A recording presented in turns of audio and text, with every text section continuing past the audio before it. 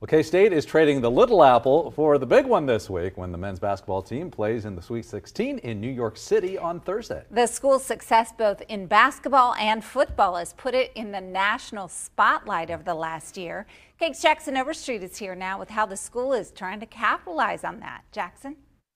You know, the more times that the men's basketball team plays on national TV, the more eyes it has on it. And from there, the school's admission department is hoping to use that uh, excitement to bring more people to Manhattan. The Kansas State men's basketball team is still dancing in the NCAA tournament. And the team's success is being felt off the court in Manhattan we're hoping that we get on people's radar that maybe have never even considered or heard of K State. Karen Goos with the school's admission department says K State has seen a bump in applications this year.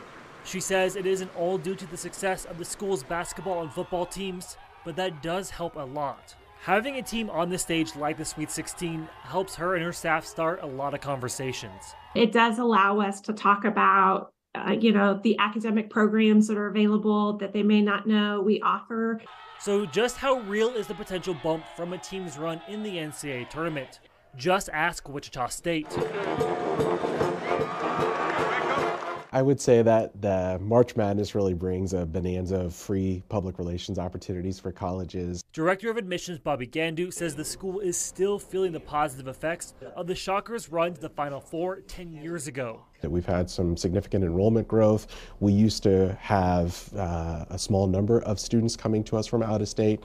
Now, very regularly, you know, we'll have more than 120 new students from Texas or more than 120 from Oklahoma and Missouri. Because of that, Goos says the longer the Cats keep winning, the busier her department expects to be with new potential students.